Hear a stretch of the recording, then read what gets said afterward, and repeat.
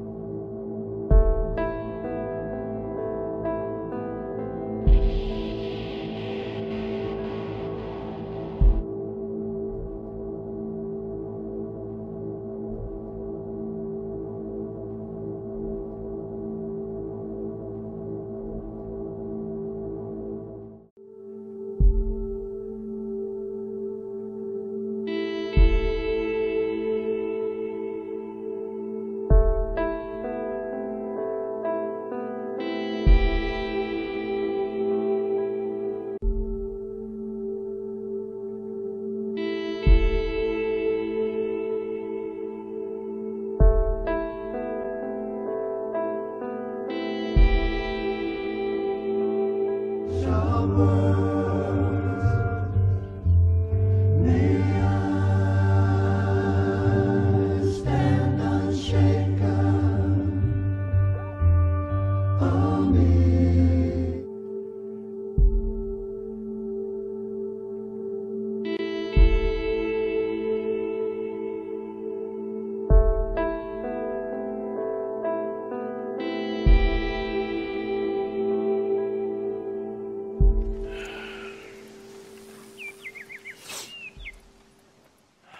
First off, I want to start with saying that Rockstar is just amazing for implementing this into the game. Whenever these scenes started, I really got quiet and yeah, it really got to me, it's beautiful. So basically these scenes represent your in-game behavior, your honor.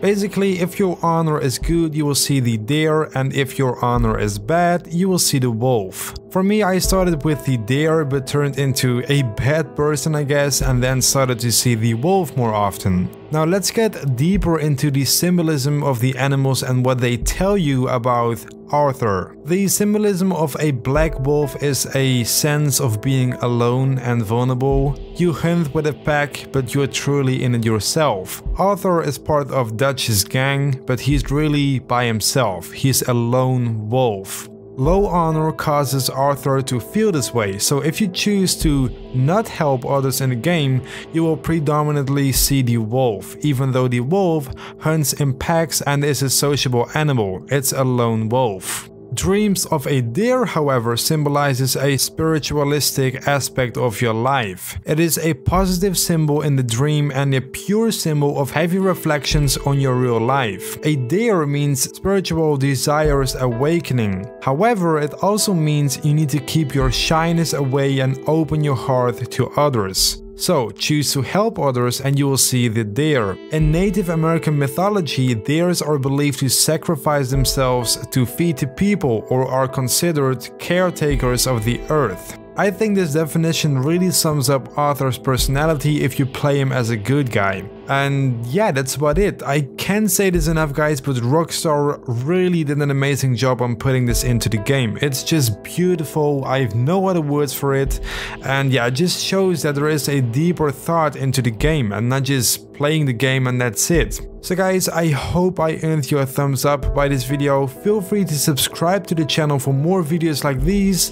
And again, I can't thank you guys enough for the crazy support on my channel the last few days. Thank you and I'm out guys. Bye.